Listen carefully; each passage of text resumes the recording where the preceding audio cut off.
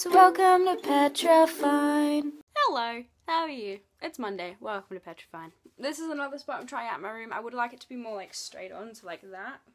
New over there, but there's shit there and I don't want to clean it up, so we're going on this angle. Do you like my shirt? I got it from the Vamps concert the other day.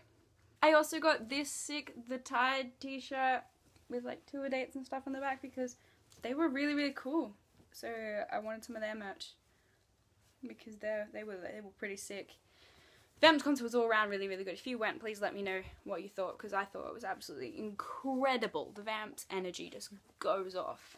The thing I wanted to talk to you about today, which you probably tell from the title of the video, is that I have started a new project and it's something that I've been really really interested in for ages now. I found my friend did it a while ago, probably when we were in America. I found out she did it, and it's like the one second every day things. And so you film one second every day for New Year, and you compile it into a really long video and I was really fascinated with that because it makes me kind of feel like I have to go out and do something every day so I can get my one second and make every day special. Or another way is like appreciate the little things. Be like, this one second from my day was a really important part of my day, even if it was just like, you know, laying in bed with my cat or something like that.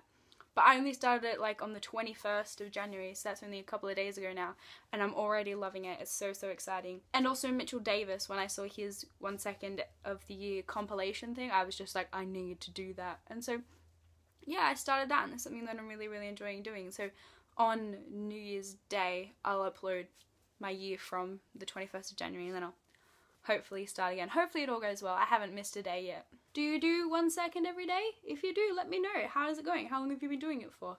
Do you struggle to find things to film in your day? I suppose it's like daily vlogging, but you can actually do less.